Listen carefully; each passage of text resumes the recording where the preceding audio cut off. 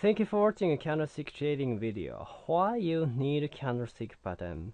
Candlestick pattern is the representation of the trading market for the particular time frame. It is represented by sticks with or without the body.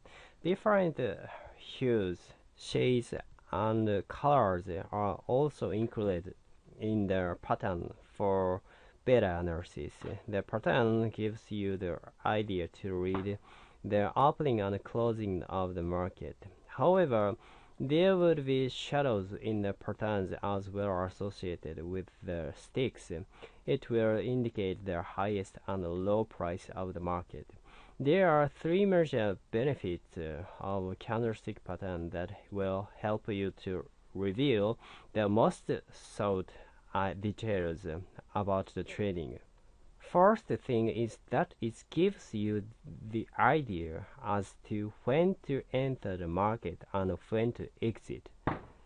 The next thing is to understand the behavior of the market.